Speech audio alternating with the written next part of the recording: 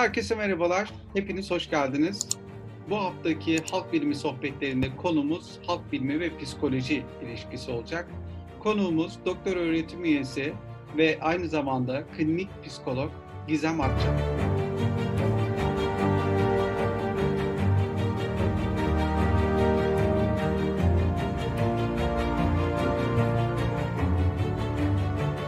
Sayın hocam, hoş geldiniz. Sefalar verdiniz. Hoş bulduk hocam. Teşekkür ederim davetiniz için. Çok sağ olun. Rica ederim. Nasılsınız hocam? İyiyim. Teşekkürler. Sizler nasılsınız? Sağ olun hocam. Biz neredeyiz? Çok şükür. Ee, korona günlerinin bitmesini dört gözle bekliyoruz. Çok güzel sayenizde moral oluyor hepimize de e, yaptığınız yayınlar, paylaşımlarınız.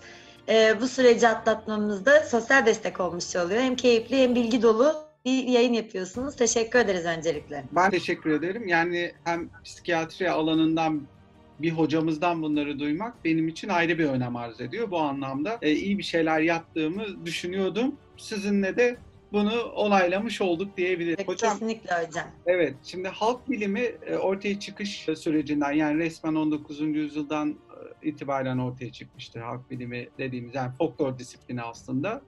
Ve folklor disiplinine baktığımız zaman da e, pek çok bilim dalının kesiştiği bir noktada duruyor. Yani işte hı hı. halk hekimliği uygulamalarıyla tıpla ilişki içerisinde. Yine halk mimari özelliklerinin kullanımıyla e, mimarlık alanıyla ilişki içerisinde. Onun yanında işte botanik, ilaç yapımı vesaire, eczacılık ya da farmakoloji e, alanlarıyla da ilişki içerisinde. Yani bu örnekleri arttırmamız mümkün. Ben her zaman şöyle gösteriyorum. Ortaya bir e, folklor yazıyorum. Etrafına da e, ilişki içerisinde olduğu yaklaşık hemen hemen bütün disiplinleri yer alıyorum ve bunların kesiştiği yer olarak gösteriyorum. Yani psikolojiyle de çok içli dışlıyız. Bugünkü sohbetimizde her ne kadar halk biliminin işte psikolojiyle ilgili ilişkisinden bahsedecek ol, olsak da genelde aslında özelde daha çok mitoloji üstünde duracağız konumuz kısıtlı olduğu için. E, bu anlamda da e, biz halk bilimini merkeze aldığımız bu disiplinlerden bu merkezden çıkan işte verilerle hem sosyal antropolojinin metütleriyle işte onu etüt hı hı. E, ediyoruz hem de özellikle de e, psikoloji alanında da sosyal psikolojinin yardımıyla da işte hem bireylerin hem de toplumun duygu, düşünce ve davranışlarının nasıl olduğunu e, bunları araştırmaya yönelik çeşitli e, kuramları, uygulamaları kullanıyoruz bu anlamda. E, biraz bunlardan bahsedebilir miyiz hocam?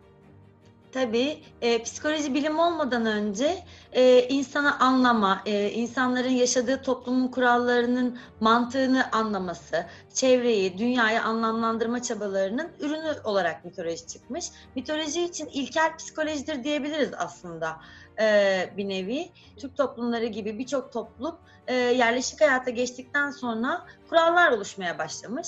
E, bu kurallar nereden geliyor? Mantığı ne? E, bunu anlamaları e, kendilerinin aidiyet duygularını da arttırıyor aynı zamanda. Hem insanların aidiyet duygularını e, pekiştirmek hem kendilerini, davranışların arkasında yatan nedenleri anlamalarını sağlamak adına da mitolojik öğelerden yararlanmışlar.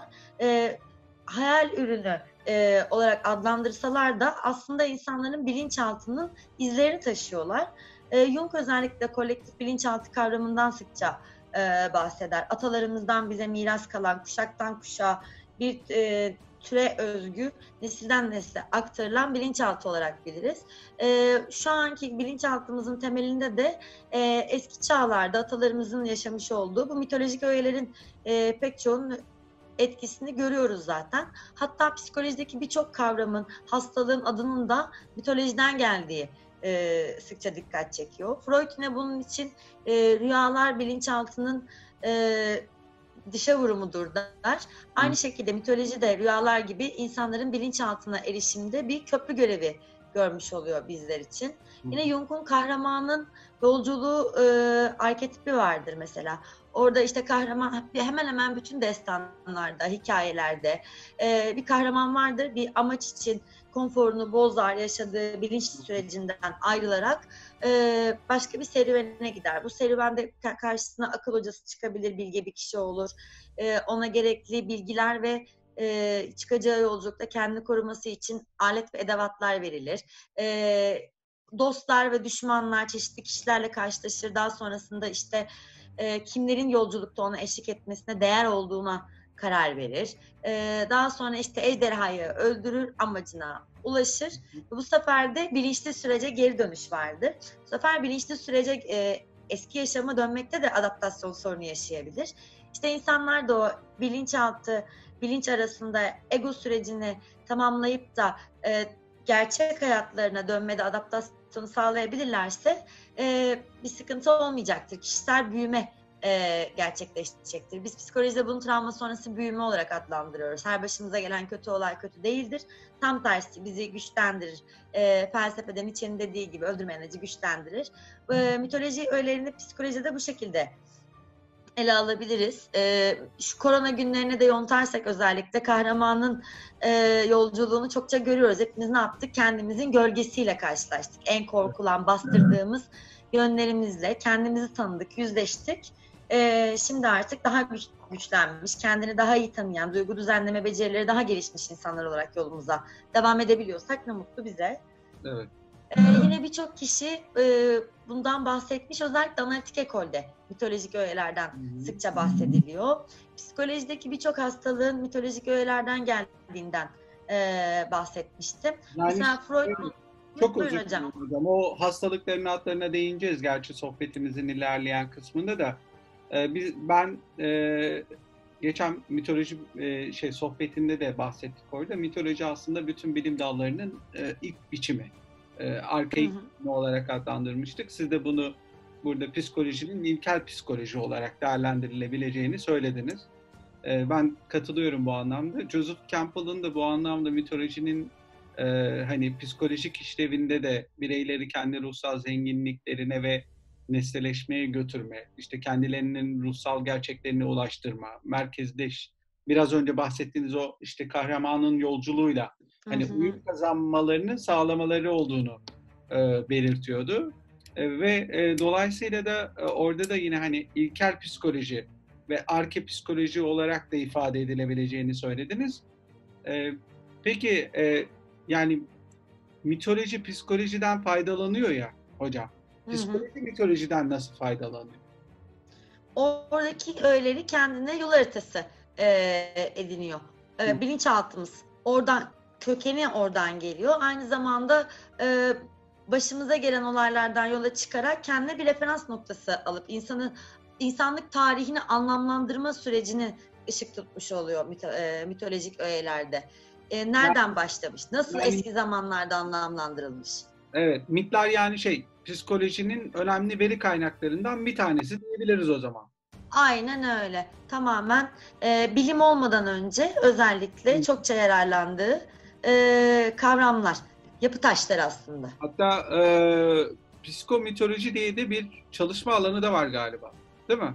Evet, psikomitoloji, psikoloji ile mitolojinin birleşmesinden ortaya çıkan e, ve psikologların da çokça yararlandığı, dediğiniz gibi özellikle sosyal psikolojinin insanın çevreyi, davranışlarını, e, dünyayı anlamlandırma çabasını e, sonucu ortaya çıkan bir bilim Hı. çalışma alanı var. Çalışma alanı. E, psikolojiyle mitolojiyi birleştiren. E, Freud'un bakışıyla e, hani psikanalitik bakışıyla mitoloji olgusunu olgusundan biraz söz edebilir miyiz hocam? Tabii. Ee, özellikle Freud genellikle eleştiriliyor. Çünkü mitolojinin sadece kendi fikirlerini doğrulayan kısımlarını e, kuramına kattığından bahsediliyor. Sınırlı sayıda hasta görüp bunu genellediği için.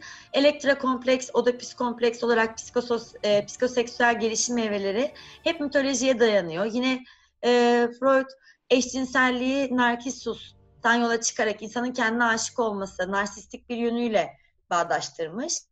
Oedipus kompleksle ilgili mesela mitolojide çok güzel bir hikaye var. Bir ülkenin birinde bir kralın çocuğu oluyor e, ve kahinler kendi çocuğu tarafından öldürüleceğini ve kraliçeyle oğlunun evleneceğini söylüyorlar. E, başına böyle bir şey gelmemesi için kralla kraliçe karar alıyorlar ve çocuklarını vahşi hayvanlar tarafından e, büyütülmek üzere bir ormana, öldürülmek üzere bir ormana götür yolluyorlar. Kıyamıyor da e, onu oraya götüren kişi ve ormanda bırakıp gidiyor. Sonra onu köylüler buluyorlar ve kendi ülkelerine götürüyorlar. Bir ülkenin kralının oğlu olarak büyüyor.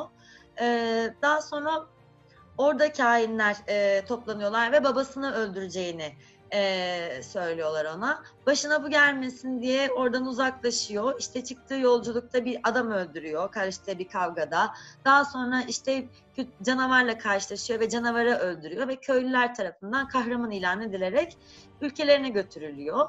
E, Dul kraliçeyle evlendirilip o ülkenin kralı oluyor. Ama bir süre sonra her şey kötü gitmeye başlıyor. Kuraklıklar başlıyor, kıtlık başlıyor. Tekrar kahinleri çağırıyor yani neden böyle oluyor diye. İki tane yaptığı hatadan kaynaklandığını söylüyorlar. Ee, ve kahinlerden öğreniyor ki aslında o öldürdüğü adam babası, evlendiği kişi de annesi. Kraliçe dayanamayıp intihar ederek e, ölüyor. E, çocuk da kendini kör ediyor. E, biz de psikolojide deriz ki Oedipus kompleks erkek çocukların anneye olan aşklarını, babaya olan da düşmanlıklarını, rakip olarak görmelerini e, sembolize eder. Yine Narkisus'un hikayesi de e, bir gün suya bakarken kendini o kadar çok beğeniyor ki kendi yüzüne, çehresine aşık oluyor ve orada kendine bakarken e, ölüyor. İnsanın kendine olan saygısı gibi olumlu ya da patolojik olan kısmı da e, kendinden başka kimseyi beğenmeme, kendine aşırı önemseme, kendine aşırı değerli bulma olarak adlandırdığımız narsistik yapılanma. Yine buraya çekebiliriz Freud'un e, kullandığı terimler olarak. Jung ve Freud arasında nasıl bir fark var hocam? Bakış açısı. Ee, Jung daha çok cinselliğe bu kadar önem vermiyor. Freud diyor ki bizim de bütün davranışlarımızın altında cinsellik ve saldırganlık olmak üzere temel iki içgüdümüz vardır. Ee, insanın amacı haz almaktır. Haz arayışındayızdır.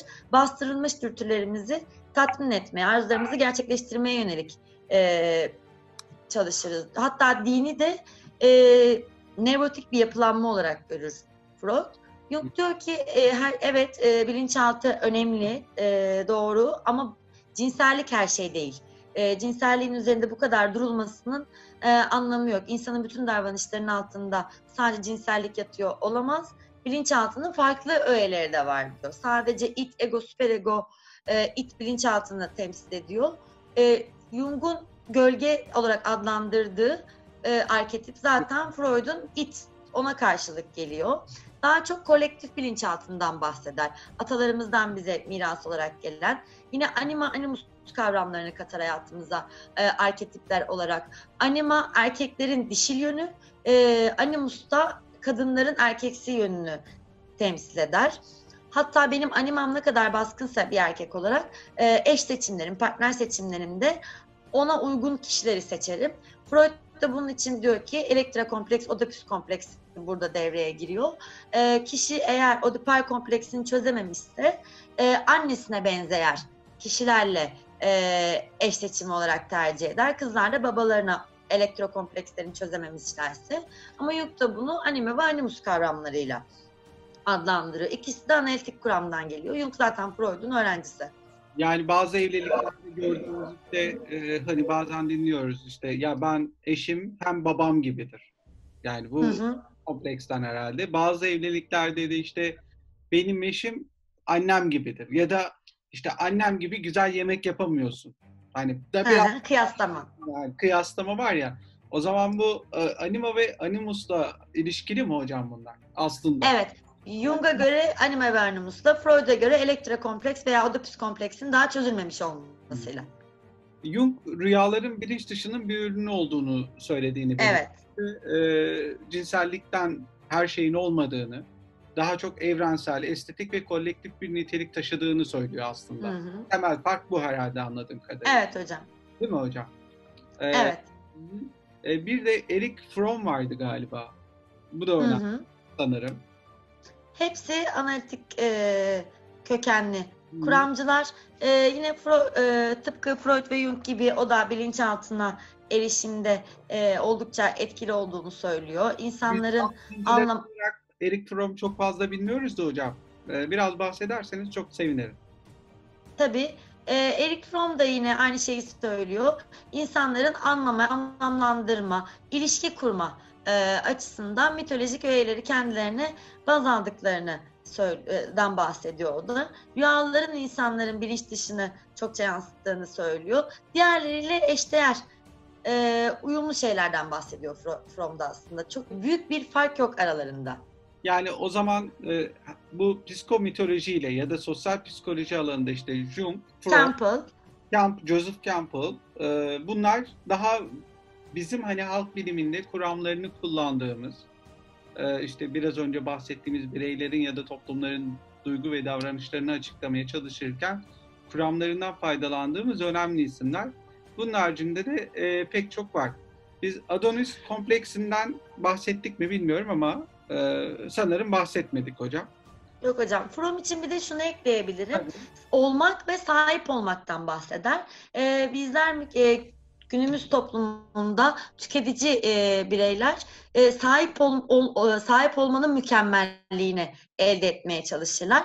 Ama o kahramanın yolculuğundaki gibi veya mitolojik öğelerdeki kahramanlar olmak, e, mükemmel insan olmak e, veya doğru iyi insan olmanın getirdiği mükemmellikten e, arayışındadırlar. Yani kadim insanı kendini e, iyi olmaya, mükemmel olmaya adamış insan olarak adlandırır. Sahip olmanın gücüne değil de e, iyi insan olmaya e, adamış insan. Evet, olmak kısmında kalan insan olarak adlandırır. Yine mitolojiyle de bu şekilde veya halk bilimiyle de Fromm'u böyle özdeşleştirebiliriz. Mitoloji e, şey e, mitolojiden e, psikolojiye geçen e, kavramları, terimlere baktığımız zaman Hı. mesela Adonis kompleksi var. Evet. Karınla kasık bölgesinde yer alan kısmı biz Adonisler olarak adlandırıyoruz. Ee, Adonis'te erkeklerin kendi vücutlarına aşırı önem vermeleri, e, kendi fiziklerine büyük önem vermelerinden e, kaynaklanıyor. Buradan yola çıkarak e, psikolojiye de girmiş. Mitolojide de yine e, Adonis iki kişi tarafından paylaşılamıyor. E, o ama e, başka birini seçiyor. Değil mi? Efendim? Afrodit'le Afrodit'le Persefon. Persefon, ee, Persefon'u tercih etmediği için Persefon tarafından cezalandırılıyor. Adonis'in üzerine bir domuz salıyor ve kasığından yara, e, yaralanarak ölüyor. E, buradan yola çıkarak da psikolojide Adonis kompleksi de erkeklerin e, vücutlarına aşırı önem vermesi olarak geçiyor. Yani herhalde vücuduna önem vermeyen erkek ya da bayan fark etmez. Kimse yoktur sanmıyorum yani. Yok hocam bu birazcık daha şey erkeklerin kas yapma tutkusu diyebilirim. Gittikçe daha böyle hani şişen bu, e, evet gibi. spor yapan Aha. sadece işte benlik algısını sadece bedeni üzerinden tanımlayan. Hani e, ne kadar kaslıysam ne kadar fiziğim düzgünse o kadar o güzel tercih edilebilir biriyim olarak algılayan bireyler için diyebilirim. Bedenim, bedenim her şeyim yani. Evet. Mottosuyla yola çıkıyorlar. bir de aşı sendromu var sanırım. Hı hı. Aşı sendromu daha böyle günlük hayatta da duyduğumuz bir şey. Evet. Sözde yetkinlik sendromu olarak geçiyor. Kişinin aslında altta yatan e, başkalarının onu algıladığı e, iyi yönleriyle kendi içindeki aciz, yetersizlik e, kompleksi buradan kaynaklanıyor. Burada da e, bir tane nehre daldırılarak aşık e, yıkılmaz, yenilmez olarak e, ne diyelim kutsanıyor. Ee, evet. ama topuğundan tutunarak bat, batırıldığı için bir tek tek incinebilen, zarar görebilen, öldürülmesini sağlayan yer onun topuğu. Onun bu yönünü bilen de onun o zayıflığını e, keşfeden e, e, birisi de onu topuğundan Apollo da onu topuğundan vurarak öldürüyor, öldürüyor. Yani aslında yıkılmaz gözüken, çok güçlü gözüken e, kişilerin de altta bir acizliklerinin, e, zayıf noktalarının olmasına da aşil sendromu diyoruz. Hmm, yani ben böyle çok üstü etrafımda görünebilirim. Kusursuz, mükemmel bir insan ama mutlaka benim de bir zayıf noktam var. Evet, hiçbirimiz mükemmel değilizdir sonuçta. Hadi, evet. Ee, diğer taraftan e, şey vardı, katarsis yine mitolojide de çok karşımıza çıkıyor. Hı hı.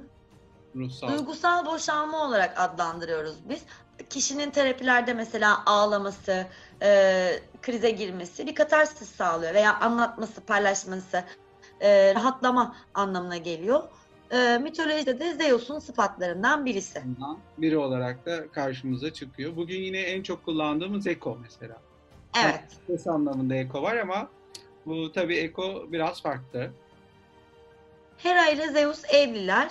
Ee, Zeus'un kendisini aldattığını öğreniyor e, Hera.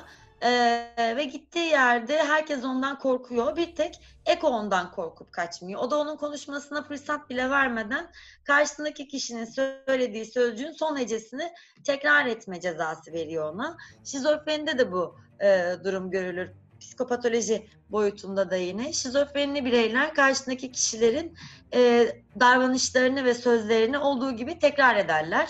Eko da buradan geliyor, yankı. Yani siren miti var hocam bir. Evet, siren de patolojideki bizim mazoşizmi, insanın e, kendine acı verecek şekilde cinsel doyum sağlama davranışı olarak geçiyor. Siren e, mitolojide ise e, denizcileri güzel balık kıyafetli, güzel sözler, e, sesler çıkararak, şarkılar söyleyerek gemicileri e, kendine doğru çekiyor. Ama dalgalara e, kapılıp gemiciler boğularak e, ölüyorlar. İnsanın mazoşist yanını e, temsil ediyor. Bir de fobilerimiz var hocam.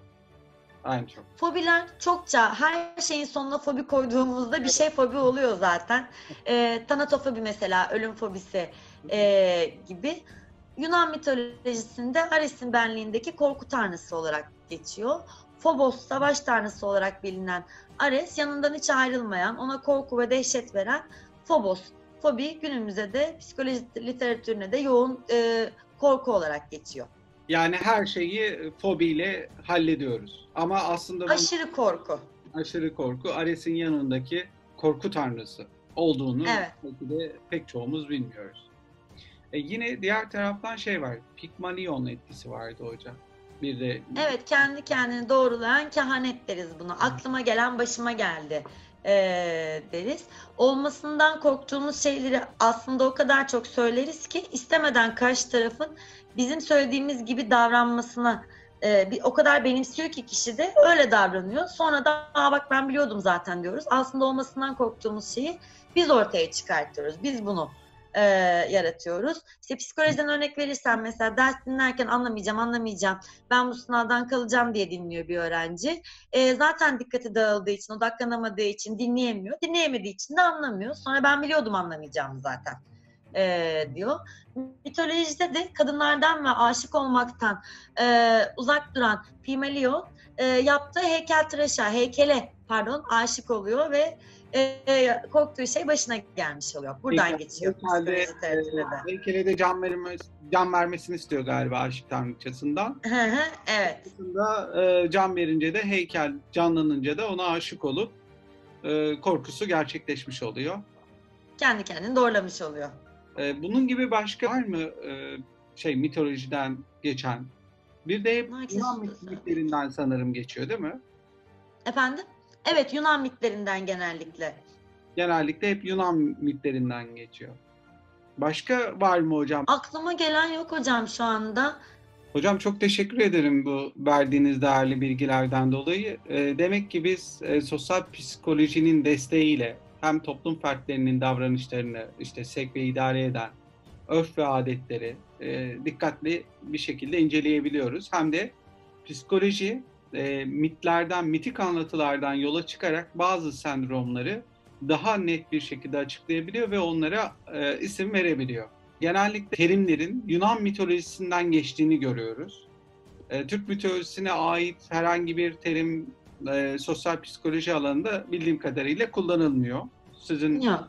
yok. Hı hı, ben de öyle biliyorum. İnşallah ileride siz bir Türk mitolojisinden bir terimi e, ortaya çıkartırsınız, bir kuramı ortaya çıkartırsınız İnşallah. dileğiyle e, diyeyim en, en azından kapanışta da böyle bir e, dileğimiz olsun. E, sosyal psikoloji ortak değerlerin e, hem açıklanmasında hem de biraz önce bahsettiğimiz pek çok e, bireysel anlamdaki davranışlarımızı açıklamada bir hem bir e, kuram hem de bir şablon olarak e, karşımıza çıkıyor ve e, özelliklerimizi belirli bir modele göre açıklıyor. Ve böylece halk bilimi de sosyal psikoloji açısından hem kültürün hem de bireyin, ferdin şahsiyet kazanmasındaki önemini e, tespit ediyor ve böylelikle e, hem Türk insanının hem de toplumdaki, e, dünyadaki diğer toplulukların temel şahsiyetlerini, özelliklerini, davranış biçimlerini çocukluktan başlayarak e, yetişkinlik çağına kadar e, bize açıklıyor. Çok teşekkür ederim. Başka bir programda da yine psikolojiyle mitoloji arasındaki ya da psikolojiyle işte sadece Freud ya da sadece Jung üzerine bir sohbet gerçekleştirebiliriz. Hem halk bilimi. Çok memnun olurum hocam. Çok teşekkür ederim. Katıldığınız için tekrar teşekkür ediyorum hocam. Ben teşekkür ederim hocam. Başarılarınızın devamını dilerim. E, Başarılı yayınlarınızın da devamını dilerim. Çok sağ olun. Çok sağ olun. Sağlıcakla kalın arkadaşlar.